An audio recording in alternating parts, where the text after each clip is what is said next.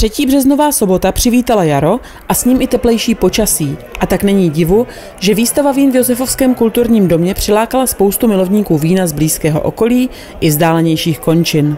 Dneska probíhá Josefovský košt tady v Josefově.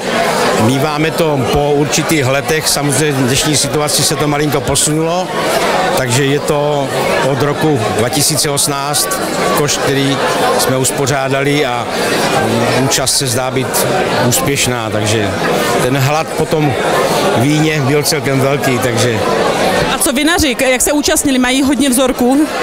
Eh, vinaři vzorky mají, i když ty ročníky byly postižené tím krupobytím a trochu to dostalo zabrat i tou eh, akcí s tím tornádem, ale vzorky se sešly pěkné. Už eh, na začátku, když jsme dneska otvírali, už tady byli nějací chlapi, kteří přijeli až do Trokovic, takže se tady těšili na košt, i když v okolí probíhá pár koštů, a myslím si, že návštěvnost hlavně těch vinařů, kteří sem dali ty vzorky, tak se přišli podívat, jak jsou obarvané, ale je tu i spoustu návštěvníků, kteří přijeli od Brna.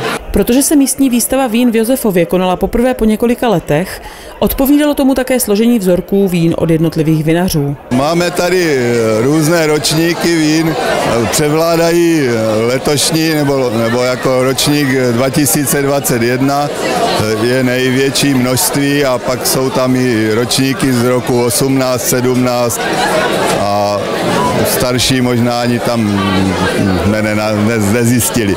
Tradičně mezi nimi převládaly bílé odrůdy, ty červené pak tvořily asi třetinu z celkového počtu. Nejvíce eh, vín tady máme v bílé odrůdě, pak máme mm, eh, nějaké rosé vína, i dva klarety a pak máme nějakých kolem 200, 200 vzorků červených vín. A celkově těch vzorků bylo kolik? Celkové množství vzorků je 629. 20 soutěžních komisí složených z 58 degustátorů týden před koštem ochutnávalo a hodnotilo všech 629 vzorků s tobodovým systémem. Titul šampiona bílých vín si odnesl Riesling Vlašský ročníku 2021 vinaře Zdeňka Konečného z Moravského Žižkova.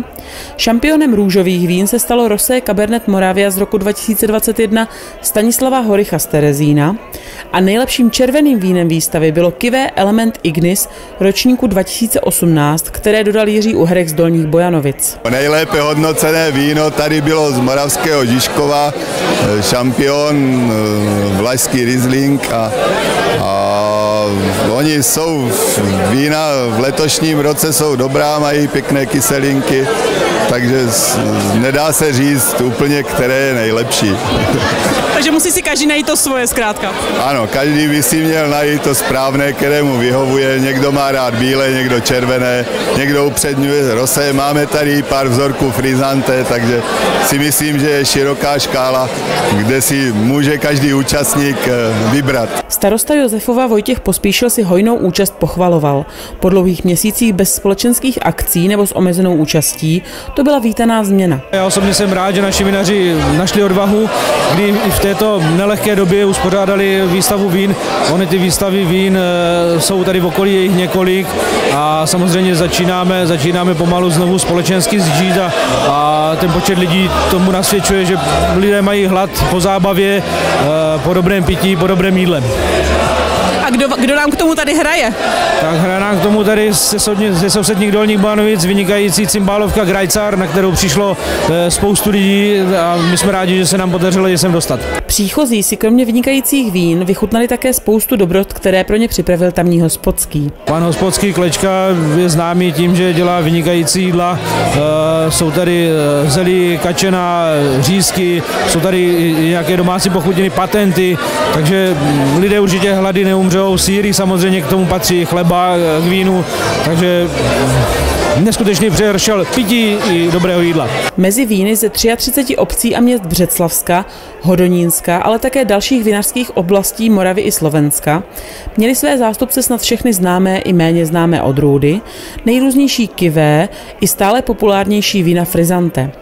V tom, která vína upřednostňují, prý ale mezi muži a ženami velký rozdíl není. Nedá se, že by byl nějaký trend, rosečka jsou samozřejmě trošku v trendu, malinko se ukazují i nějaké ty oranžové vína a malinko se objevují i vína, které jsou no, jemně perlivá, taková frizante. Josefovská výstava vín a následný košt byly na delší dobu poslední, které vinařský spolek Josefov uspořádal.